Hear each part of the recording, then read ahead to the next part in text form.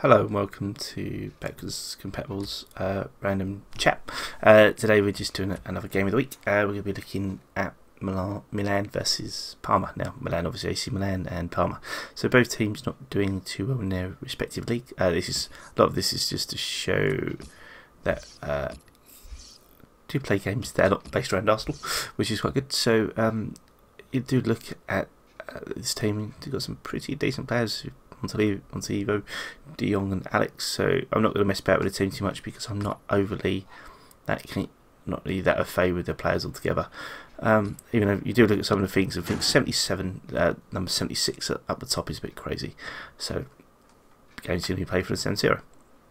So uh, now I don't I don't generally play a lot in the Italian leagues. Um, I don't know why actually. It's not tends to not be a league that I play a lot in um, when it comes to when it comes to FIFA.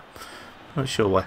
Uh, I tend to play Spanish and the German as well as English, and I don't know why, but randomly I do like the American League as well, the old MLS, just because it has an interesting structure.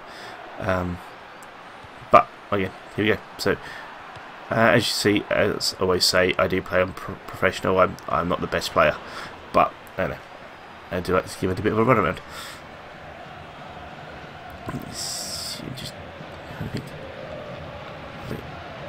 so I'll always uh, we'll we'll stop talking at little points just because uh, sometimes just trying to remember what I'm doing. Um, so now uh, there is I there's always a big thing missing uh, with FIFA on the PC especially, and that's the um, the replay section and the uploads that you have on the PS4, uh, PS, you have on the PS3, so you've got it on the PS4 and the Xbox and stuff, and that's the ability to upload um, your goals. Now, admittedly, um, I use o OBS, Open Broadcast Software, to record this gameplay and you know put my ugly mug up. I apologise about the background, um, the background mess, but we we have a. Uh, this is my daughter's room because this used to be my office, and we've had a daughter and we're going to we're changing it into a nursery, which is why you might be able to see some of the pictures up on the walls. Um, but it's still in a, a state of trying to alter what's going on, so that's why it's a bit untidy. I do apologise, but um, yeah, so. Um, so so yeah, oh, Open Broadcast software is quite handy. Now, um, you can obviously always go to things like Twitch as well if you wanted to. There's there's loads of different options, and I think everybody kind of does their own thing but the ability to just upload a, a goal was just so handy, you know, on um, on the PS3 when I used to play on that system. And I do think it's something that I wish the uh, PC version had because you know I scored so many great goals. I'm joking, but uh, you know some people do, and it just seems like you have to have the pre-fault and then find the goal and, and record it and stuff like that. And sometimes that can be a little bit difficult. You know, not everybody's got the money for a, a, a decent capture card or you know, or the ability to buy a, a, editing program, which some of them, you know, a lot of people do. But it would be quite nice to bring that feature in now. Again, I, I think probably think the console community is, is probably bigger for a game like FIFA than the actual uh, than the PC community, but it still would be quite nice. You know, a theatre mode or something like that is also quite a, an, interesting and nice little um, a nice little feature. And again, uh, other games do have it. I think FIFA's one which which has had it for years. Uh, uh, FIFA COD, sorry, has had it for years, and that would, would be quite nice. And that's not a penalty. How is that not a penalty? Okay. So, still question marks over the refereeing. Now, uh, as you can see, my uh, my might be able to see tell from the last week. I tried to play a lot of free balls, so you will notice that quite a lot of my free balls are quite risky. Um, I just quite like it. It's it's a good way I think of just playing the game um, uh, play the game as well play with a player of speed. So that's why I like generally uh, pick the teams I like to have fast players. Um, you know I like Walcott for Arsenal uh, Robben for uh, Bayern Munich. People like that just because of that out and out speed. So I will always look for a speedier a speedy striker. I think um, which used to be the quickest? I can't remember who it was. Um, Cisse was always pretty quick for Liverpool when he played there um, and there's another guy whose name is completely escaping me. But again, out and out speed always works well for me up front, I think, just because that's the way I play, as you can see from that awful free pass. So um, that's why I quite like having a lot of players up front. You'll see me generally when I, I do like uh, 4-3-3, that tends to be my preferred uh, gaming style these days, or even just you know one up front with two with two wide men. Um, so you know more four, three, two, one. But you know those those other two players are more the wider players, so they can just add a lot of speed. It's a bit too hard. Wonderful. I probably should talk about that when I'm actually playing with the, with the, setup that I like as opposed to playing with a different team. But again, Milan are quite good now. Milan, have, uh, I, I am a. I remember watching Milan as a kid, growing up with people like Franco Baresi and um, Paolo Maldini and that sort of thing. And you looked at that club and thought they were just amazing. I mean, the San Siro, as you saw from the beginning of the beginning of the video, was just an immense stadium. And the fact that you know, they always had these things. Now, I remember, um, if I remember rightly, because they also had uh, quite a few Dutch players like Van Basten and Rijkaard, and um, who was the other one? And another uh, Dutchman who I can't remember. And it was always great when um, during the 1990 World Cup when uh, Holland were playing Germany, um, and that was the, the infamous Voller Rijkaard spitting incident. But you had um, uh, Germany who had quite a few Inter Milan players playing against uh, playing against Holland, who had quite a few AC Milan players, and that just uh, was quite quite a tasty affair. And I think Matthäus uh, and Voller um, and a few other players, you know, it just went a bit crazy. But I think that's quite a good thing. And again, obviously, with two teams, two Milan teams sharing the same stadium, you know, it's always uh, it seems like a volatile rivalry to say the least. So, oh God, sorry, plays awful.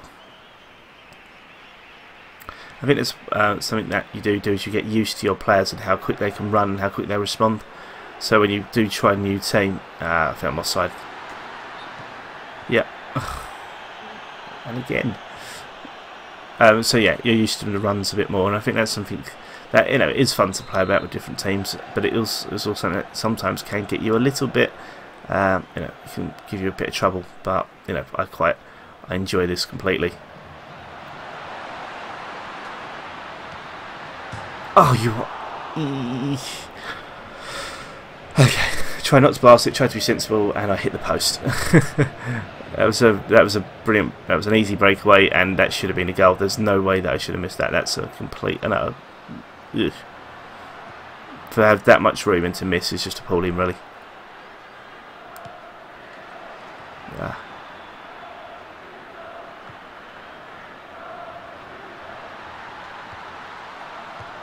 Ah. Oh, this has been a bit of a rubbishy game. Um, I should have scored. Uh, there was no excuse for that miss, actually. It was absolutely appalling. Um, I had all the space in the world, and I can't believe I put it against the bloody post. So, obviously, go on to the next round. Hopefully, that'll be okay. Won't bother ending that, just resume match. So, there's no cop outs. If I do lose, I lose, as I've always said. So sometimes it's uh, yeah. When you play, I could you can always play a game on a lower setting and win five 0 but that gets boring. I mean, I wish I could play World Class and win five 0 but I've never been able to do that. I think even if I played a national team against the bloody Jim Vauxhall Conference or what was called the Blue Square Premier team, these days I don't think I'd still be able to win. So that's fine.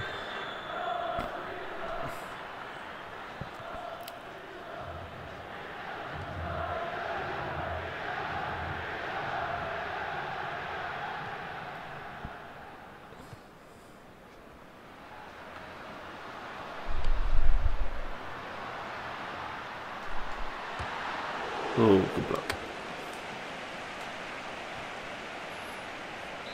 Now one thing I know I don't use enough, I don't use skill moves anywhere near enough. Uh, the, the the skill, uh, basically that button, uh, the right stick, I really don't use it. Now, something that I feel I should use more, but I'm just not used to it. And I think, oh, was that not a penalty? That wasn't a penalty. Was he offside? Yeah. Okay, so he touched offside. Bloody hell's bells. A player don't know a lot about actually. Uh, but yeah, that was awful because again, what the hell's going on? Ah, that's a bad free ball.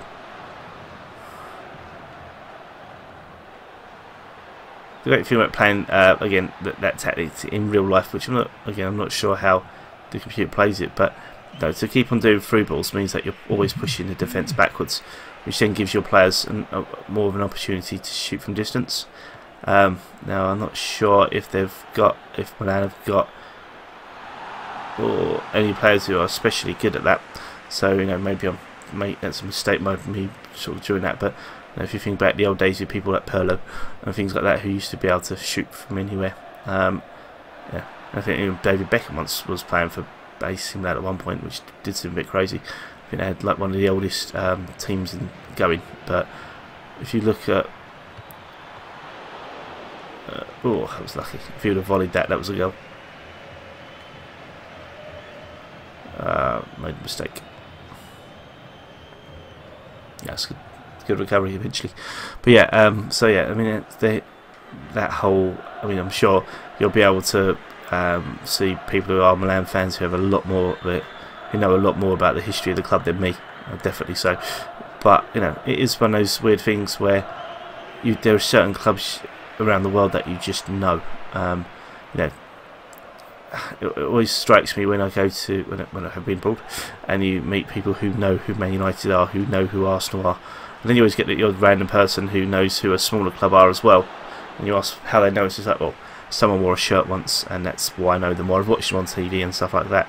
And again, I think that's the same thing for us. You know, uh, same thing for me is that there are certain teams that I, you just you just uh, know, you know, like Barcelona have just got that air of, of quality, and Ajax, I think, were always a team from the 90s who you couldn't help but think were just.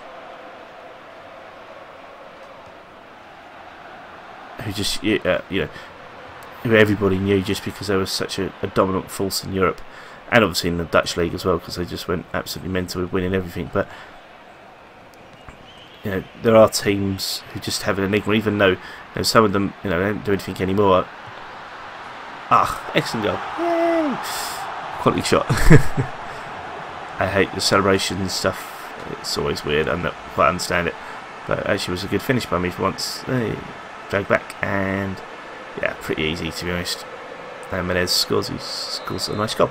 So. Um, yeah, so so so yeah, there are those clubs now. Um, I always it's always uh, an interesting thing, and sometimes you don't know the rivalries, and that's something you know, back to the AC Man to learn thing. But you you don't realise that that why there is that why there is that rivalry between teams, and I think sometimes um, you have to be quite careful with who you say support or who you say you follow.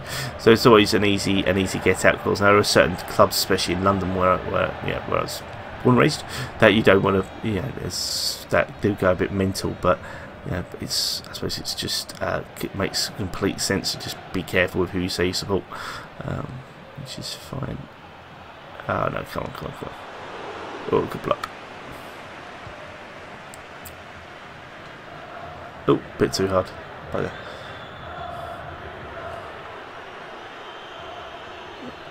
Sometimes it's better just to hold on when you're the goalkeeper supposed to try to do things quickly. Oh, that's a good ball. That was unlucky and sometimes it's good just to throw the ball out speedily. I don't play. I don't think I've played uh, oh, the PC Online yet, actually. Which um, it was a, a, quite a nice thing about this is that it it imports your data from um, other from your past FIFA games, and I quite like that about FIFA. Is you know it kind of rewards you for continual play. this offside line is getting annoying now but yeah, um, it rewards you every time you come back. You get a bit more experience, and I, I quite like that. I think it's a nice, um, a nice way to to show, um, to give those committed players a bit of a, a sense of pride about the game. It also gives them a sense of achievement, and you know, what you did last year actually does better for this year, and so on and so forth. Um, you know, I think recently uh, Bungie, um, not Bungie, wrong company, Blizzard have taken that to the extreme with um, the World of Warcraft. You know, if you've been a subscriber for 10 years, you get this uh, a nice um, bronze character. Oh, oh, know, they think it's a bronze character, not sure yet. Now, that was a scrappy, crappy goal, but it went in, so it's quite good. First shot, tried to do thing, get hit across, and it, like every good greedy striker, just followed in. And so, just watch you from behind it's just going to trickle just Yep, goal line technology, wonderful. so, Something that I think FIFA should follow on, and I mean FIFA by the real FIFA, and not just a FIFA game. No, being able to spot when a ball crosses the line is always handy.